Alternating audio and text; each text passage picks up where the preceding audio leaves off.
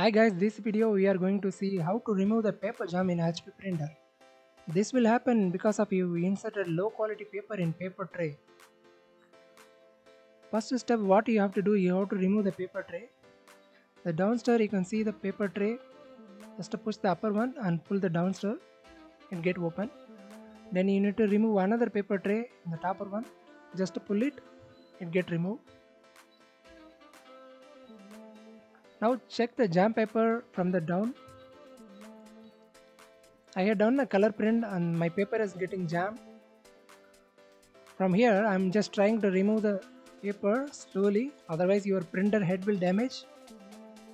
Trying to remove the paper but it's not happening. So I'm going with the second step. You need to remove the printer top.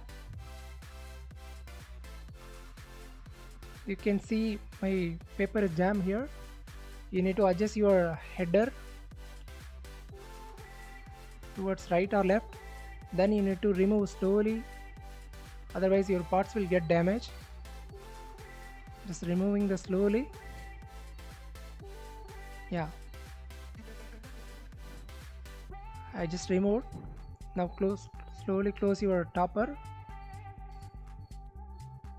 Now you need to reinsert your paper tray